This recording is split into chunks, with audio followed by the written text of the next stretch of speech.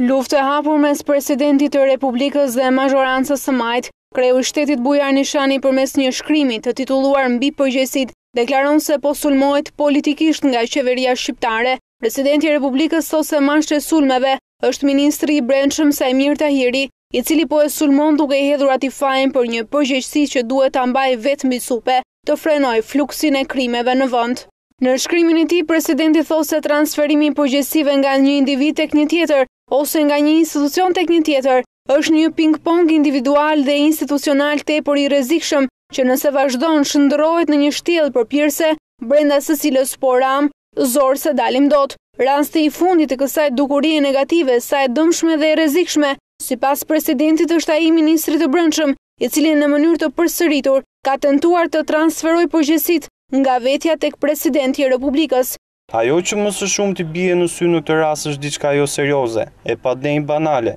Ministri në pamundësi të frenojë institucionalisht dhe individualisht fluksin e krimeve që po ndodhin, përmes transferimit të përgjegjësisë tek presidenti, rreket të pakësojë fluksin e kritikave që po i bëhen. Kreu i shtetit i kujton ministrit se po reagon dhe komunikon si njeri i medias dhe kjo është një lëvizje manipulative trashanike. se respektimi i drejtësisë dhe përpjekjet për ta përmirësuar drejtësinë, të cilat ministri i bën lëmsh, janë dy gjëra të ndryshme që kurrsesi nuk duhen ngatërruar me njëra-tjetrën. Pretendimi për ta identifikuar Presidentin e Republikës me drejtësinë në përgjithësi është një sulm politik, një naivitet malinj i pashoq. Në përgjigje të letrave që i janë adresuar nga ministri Saimir Tahiri për të marrë masa ndaj gjyqtarëve që kanë lënë të lirë njerëz të inkriminuar, Presidenti shkruan,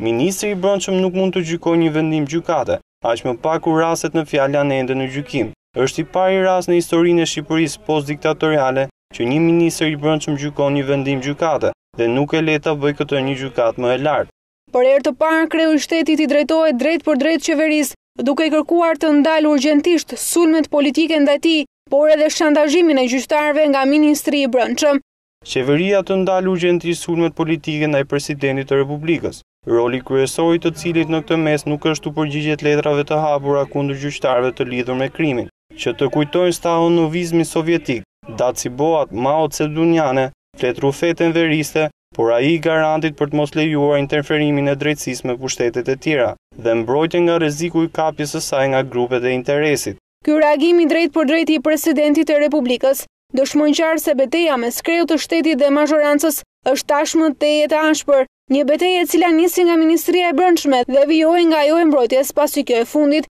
ka hartuar një projektligj që i merr atij kompetenca kushtetuese.